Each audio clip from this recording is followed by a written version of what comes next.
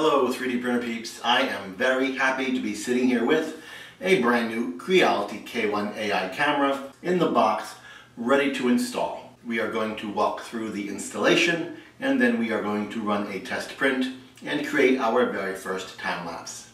To get started, we will take our fancy new camera out of the box.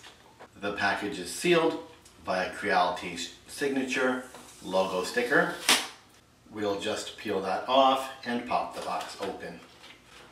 Inside the box, you'll find a little manual and nestled in some very nice packaging as typical for Creality, the AI camera itself. Go ahead and pinch the head of the camera and just slide it out and place it on your table. Do pay attention, underneath the camera hides a little bag with a single screw. Rescue that screw from the box, place it on your table, and here is the K1 AI camera. You might be surprised at how small it is. It does look a lot larger in its pictures. On the lens is a protective film. Go ahead and peel that off after you finish installing the camera. To improve your light and your view and your access, go ahead and remove the lid. The spot that you are looking for is right here. You may notice this one lone abandoned cable. Now you have a use for it. The screw for this camera is an M3, so go ahead and grab an Allen key that fits. This is very tight. Reach inside and open up the latch protecting the cable for the camera. I am going to use an Allen key. Once the cable is free, go ahead and attach it to the camera. It only fits one way. There are little tabs on the top of the connector. They go facing the screen on the camera.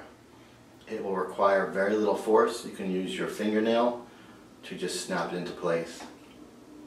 Holding the camera like this, use your finger and direct the cable above the camera bracket and slide the camera bracket back against the glass so that the L of the bracket is between the glass and the mount.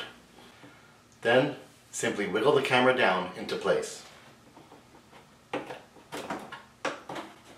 It will look like this.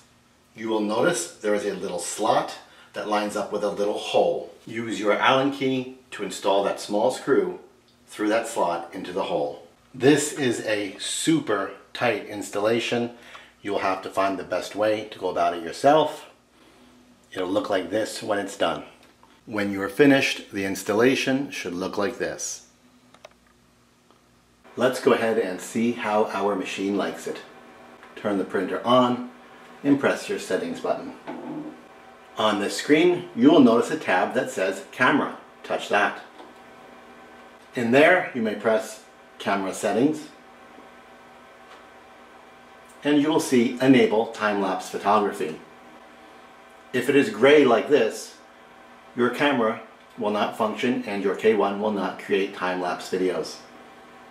If it is blue like this, it is turned on and your K1 will create time-lapse videos. Back out and go to AI function. In here, you will see a number of advanced features. You may turn on AI detection. This is basically spaghetti detection. If your print fails and turns to spaghetti, it will detect that failure and stop the print. The next two features require LiDAR, which at the time of this recording is not available for the K1. However, LiDAR is standard on the K1 Max, and you could turn those features on for additional AI camera inspection. Press back, and we are ready to test the camera. Upload it to Creality Cloud and print to the K1 from Creality Cloud. And hopefully when we are done, we will have a test print with a time-lapse video of our doggy sitting here on the bed in the K1. Okay guys, I'm here in Creality Cloud and I'm going to go to upload. I'm going to go to upload slices and I'm going to go to select files. Navigate to where you have your G-code, click on it and choose open. It will then upload the file to Creality Cloud when you press the blue upload button. And there you have it, the upload is done on the top left corner will be the most recent one you just uploaded. It will take a moment to render the thumbnail. If you're in a hurry, press the refresh button and that might be good enough. And it is. So there is our test dog AI camera, timelapse.g code. And I'm simply going to press print because Creality Cloud is fairly smart these days. It already knows it was sliced for the K1 printer. Mine is named Spender.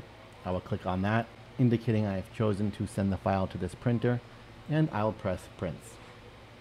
You can go ahead and press OK, OK, OK, confirming you have nothing else sitting on the printer, etc. And Creality Cloud will send the file to the printer and activate the new AI camera. Here we can see the AI camera is working and I'm getting a really strong feed as we can already see the nozzle is preparing for print.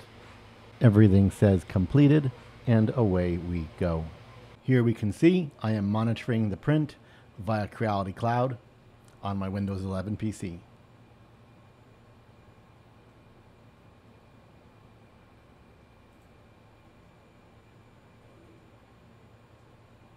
And here I am in the Creality Cloud app on the phone.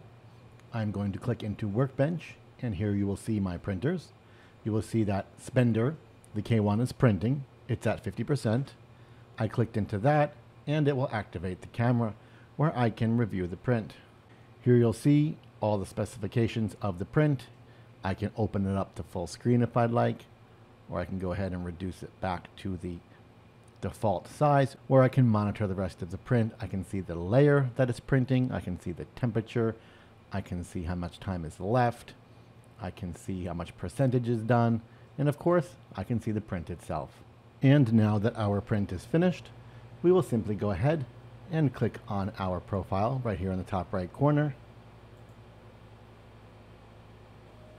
You will see your portfolio here. I'm going to click on prints. And in here, you will see our test doggo.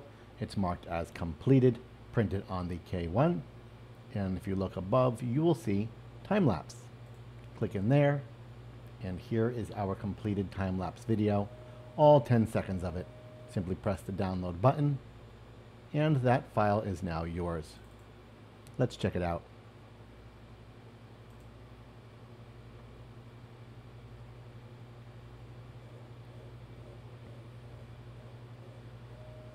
As you can see, the time-lapse video and the Creality K1 AI camera are working really well and I'm very happy to have one. If you followed along, hopefully your K1 AI camera is now working as well and you can go ahead and create awesome time-lapse videos while monitoring your printer from the Creality Cloud app or website.